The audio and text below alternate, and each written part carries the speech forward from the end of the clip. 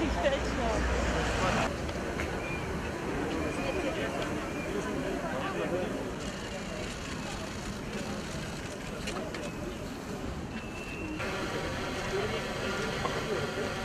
mãe, me gosta de mim.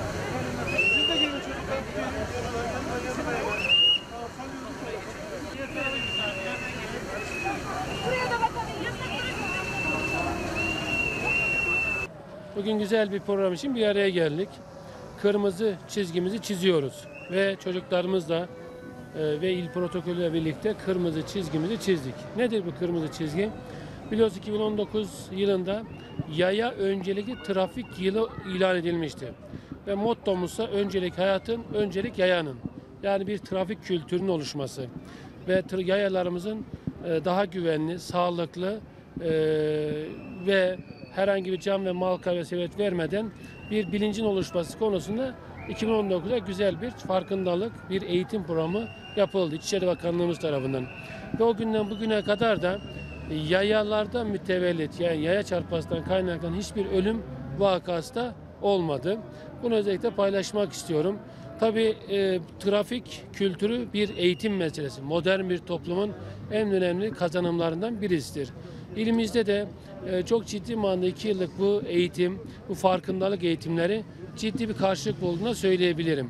Hem e, yerel yönetimlerimizin, belediyelerimizin, belediyemizin e, bu anlayışa uygun şekilde yol tanzim etmeler yapmaları, yaya geçişlerinin buna göre tanzim edilmesi, trafik ışıklarının, ışıklarının buna göre konumlanması ve vatandaşımızın da bu konuda bilgilendirilmesi, bilinçlendirilmesiyle birlikte çok ciddi bir mesafe kat ettiğimizde söyleyebilirim.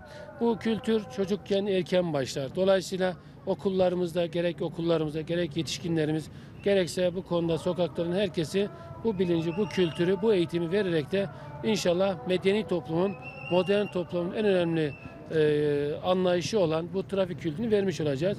Hem birbirimize e, saygının e, ka- saygılı olmak ve güzel bir trafik akışı sağlamak hem de kazaya herhangi bir olumsuz meydan vermemek gereksinim ortaya çıktı. Bugün Türkiye'nin dört bir yanında aynı anda tüm sokaklarda, tüm yaya geçişlerinde kırmızı çizgimizi çiziyoruz dedik. Biz de Sivas'ta, meydanda, istasyon caddesinde, belediye valilik önünde belediye başkanımızla birlikte hep birlikte kırmızı çizgimizi çizdik. Yaya güvenliğini ön plana alıyoruz. Yayalarımızın daha sağlıklı e, bir ulaşım sağlamasını sağlıyoruz ve araç kullananların da bu konuda daha dikkatli olmasını uyarıyoruz. Hayırlı uğurlu olsun.